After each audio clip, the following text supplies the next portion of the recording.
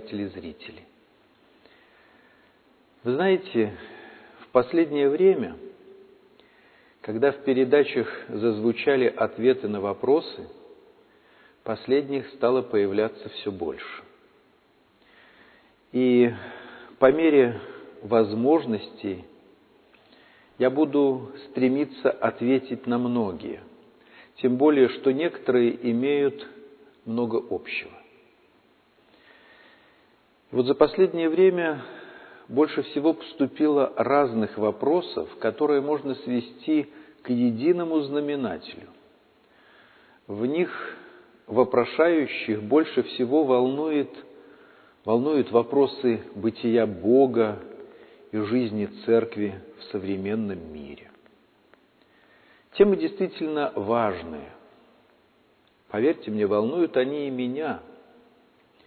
И первое, что приходит на ум для разговора, это слова Антона Павловича Чехова из его знаменитого дневника. Еще в 1897 году Чехов писал, «Между есть Бог и нет Бога лежит громадное целое поле которое проходит с большим трудом истинный мудрец.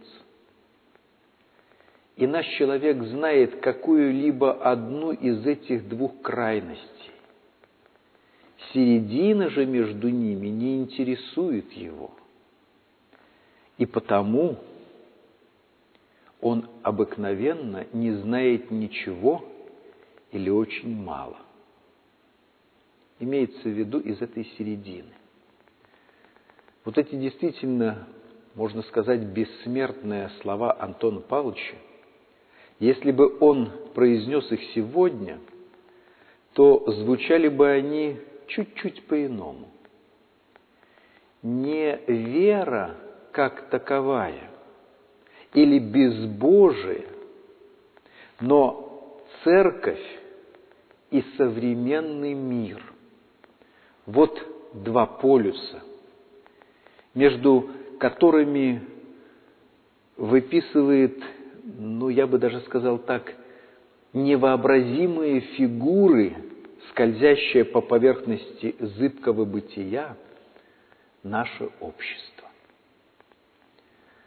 Что есть церковь в мире? Это вопрос и есть самый главный вопрос – причем этот вопрос задается вполне искренне. Действительно, зачем современному миру церковь? Или, скажем, еще более прагматично, что может дать современному миру церковь, кроме декларации высоких нравственных истин? Вы знаете, едва ли мы часто слышим этот вопрос – с экранов телевизоров, в интернет-блогах или даже в беседе. Но его незримое присутствие нельзя не заметить. И вот мне думается, что не следует ставить перед собой задачу дать универсальные ответы на все эти и подобные вопросы. Более того, пытаться дать ответы какой-то мере боязно. Я имею в виду боязно навязать свой взгляд, свое личное понимание проблемы, выдавая его за голос всей церкви. Вот всякий раз в передаче мне, скорее всего, хочется донести ту самую песнь сердца – которую нельзя остановить, но которую можно пережить и которой можно поделиться. Ведь разве не апостолам было сказано, «Горе мне, если я не благовествую». Но эта песнь отличается и от торжественной проповеди, которую мы слышим в храме, И она отличается от задиристой публикации на богословском портале и даже отличается от того хронического менторства, так и не ставших священниками профессоров-теологов. Главное, на мой взгляд, во всех ответах – это диалогичность и искренность. И мне никогда не хотелось задаться целью обнажить так называемую родительскую наготу. Напротив, с большой аккуратностью, и я э, даже сказал бы трепетностью перед живым богочеловеческим организмом церкви, мне хочется говорить, и мы будем об этом говорить всякий раз в наших передачах, о людях, составляющих церковь, находящихся около церкви, их проблемах, зачастую не просто человеческих, но слишком человеческих, о жизни церкви в обществе и о том, как мир сей принимает или наоборот гонит прочь благовестие Христова – и почему это происходит. Вы знаете, можно долго, долго-долго и с упоением обсуждать формы. И это чрезвычайно увлекательно. Но для начала следовало бы понять, что лучше всего стремиться вложить в эти формы. Я имею в виду и подачу материала, и общение. Те формы, которые предлагаются человеку 21 века – и самое главное, ответы, формы ответов на его вопросы о жизни и о вере. И это все понятно и иногда принимается. А ведь бывает совсем наоборот. Бывает иначе. Человек приходит и погружается целиком в недра церковной жизни, но при этом так и не находит чего-то самого важного для себя – и происходит в его жизни то, что одним словом можно было бы назвать расцерковление. И поскольку это действительно имеет место, значит, я буду стараться вникнуть в причины этого явления. И буду стараться не пытаться спрятаться от проблемы за красивой риторикой. Потому что где есть смыслы, там неизбежно возникают споры. Ведь как легко бывает принять в споре некую сторону, ожесточенно громить оппонентов и отстаивать свою правоту. Но ведь во всем ли правы свои, во всем ли неправы чужие? Годится ли один ответ для любого человека и любой ситуации?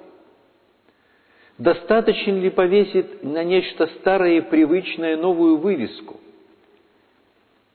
Ведь нужно находить какую-то новую форму общественных отношений, испытывая не тоску по империи, образно говоря, или желая открыть счет в православном банке.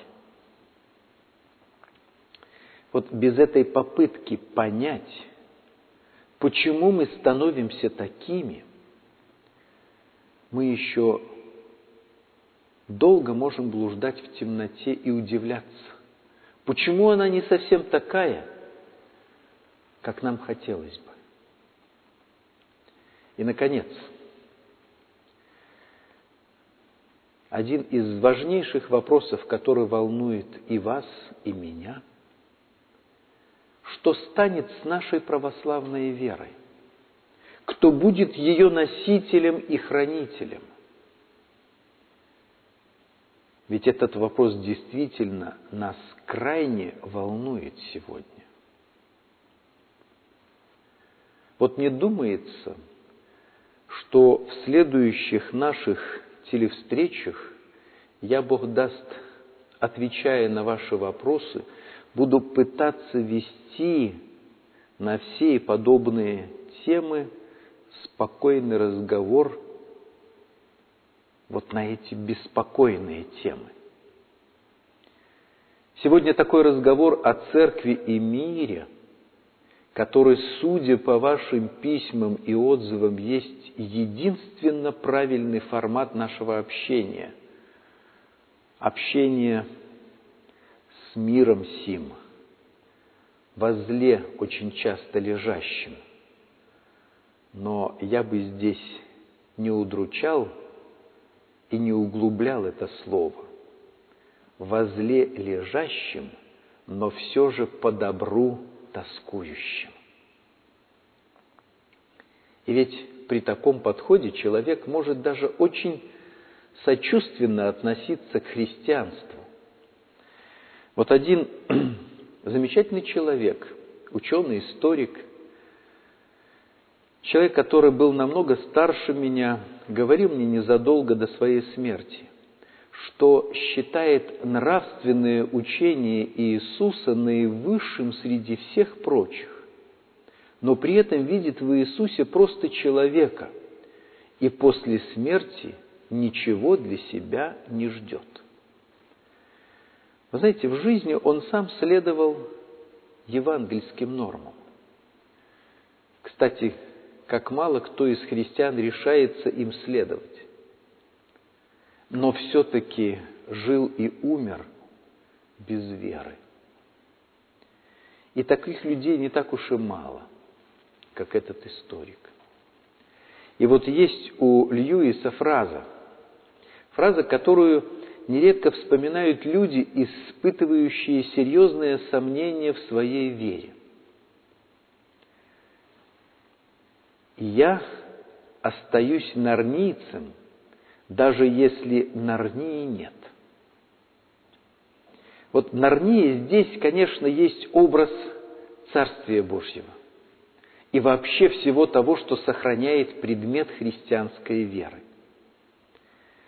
Эти слова герой Льюиса произносит, когда ему, одурманенному, пытаются доказать, что нет ничего реального, кроме тусклой и унылой жизни в подземелье, что ей и надо следовать. Вот всегда оставаться таким истинным нарнийцем, мне хотелось бы пожелать всем нам – слушающим в заключение сегодняшней нашей встречи.